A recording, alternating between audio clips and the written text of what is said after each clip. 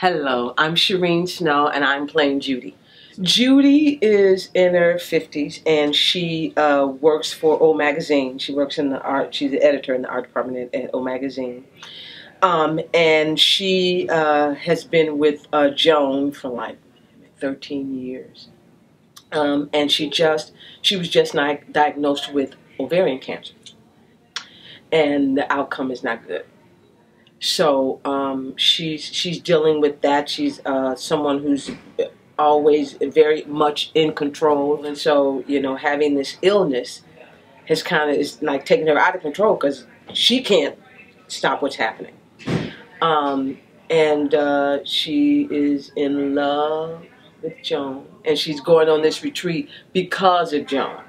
You know, because that's not something you know she would do. She's you know, go get you know so, um, so she's going on this retreat for Joan.